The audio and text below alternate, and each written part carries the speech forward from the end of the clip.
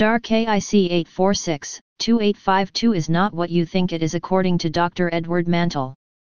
A very unusual star discovered last year sparked speculation about intelligent aliens and is still baffling scientists trying to explain it. Star KIC 846 2852, from the constellation Cygnus, was seen to be sporadically dimming when it was discovered in 2015. Theories as to why this was the case ranged from an abnormally large amount of comets orbiting the star, or a megastructure constructed by aliens. A new study by the Carnegie Institution in Washington, D.C. attempted to analyze what was going on with the distant star using the Kepler Space Telescope. The observations through Kepler found the star has faded gradually over the last four years and by 2% in the six months while they watched. Meanwhile the erratic pattern of brightness changes, often explained by dust clouds and passing planets, are like nothing seen before. The steady brightness change in KIC 846-2852 is pretty astounding, said astronomer Dr. Ben Montet. Our highly accurate measurements over four years demonstrate that the star really is getting fainter with time. It is unprecedented for this type of star to slowly fade for years, and we don't see anything else like it in the Kepler data. The research will be published by the Astrophysical Journal. However Dr. Edward Mantle claims that this is in fact a natural occurring Tipler cylinder and is being used by the old ones to come here. First off you need to know that CERN in itself is a Tipler cylinder, we will go in more detail about this if you ask but we think you will get the idea after this. A Tipler cylinder uses a massive and long cylinder spinning around its longitudinal axis the rotation creates a frame dragging effect and fields of closed time-like curves traversable in a way to achieve subluminal time travel to the past. Civilizations with the technology to harness black holes might be better advised to leave wormholes alone and try the time warp method suggested by US astronomer Frank Tipler. He has a simple recipe for a time machine, first take a piece of material 10 times the mass of the Sun, squeeze it together and roll it into a long, thin, super-dense cylinder a bit like a black hole that has passed through a spaghetti factory. Then spin the cylinder up to a few billion revolutions per minute and see what happens. Tipler predicts that a ship following a carefully plotted spiral course around the cylinder would immediately find itself on a closed, time-like curve. It would emerge thousands, even billions, of years from its starting point and possibly several galaxies away. There are problems, though. For the mathematics to work properly, Tipler's cylinder has to be infinitely long. Also, odd things happen near the ends and you need to steer well clear of them in your time ship. However, if you make the device as long as you can, and stick to paths close to the middle of the cylinder, you should survive the trip.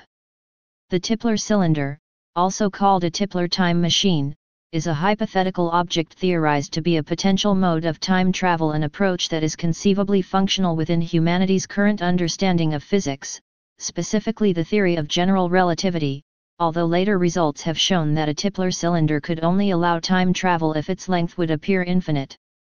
The key characteristics of the application of Tipler cylinders for time control and time travel are presented in the picture below. This is followed by more detail describing the approach below. The Tipler cylinder was discovered as a solution to the equations of general relativity by Willem Jacob van Stockum in 1936 and Cornel Lanczos in 1924, but not recognized as allowing closed time-like curves until an analysis by Frank Tipler in 1974.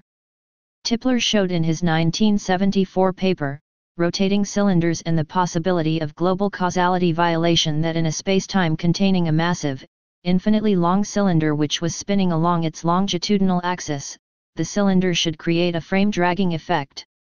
This frame dragging effect warps spacetime in such a way that the light cones of objects in the cylinder's proximity become tilted, so that part of the light cone then points backwards along the time axis on a spacetime diagram.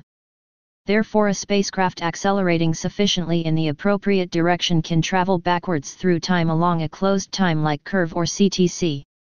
CTCs are associated, in Lorentzian manifolds which are interpreted physically as spacetimes, with the possibility of causal anomalies such as going back in time and potentially shooting your own grandfather, although paradoxes might be avoided using some constraints such as the Novikov self-consistency principle. They have an unnerving habit of appearing in some of the most important exact solutions in general relativity, including the Kerr vacuum, which models a rotating black hole, and the van Stockum dust, which models a cylindrically symmetrical configuration of rotating pressure-less fluid or dust.